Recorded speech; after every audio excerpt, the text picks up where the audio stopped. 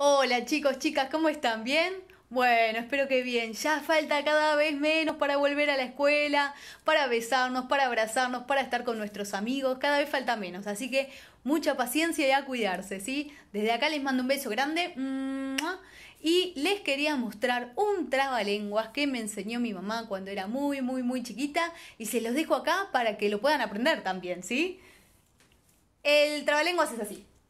María Chucena techaba su choza. Pasó un techador y le dijo, María Chucena, ¿tú techas tu choza o techas la ajena?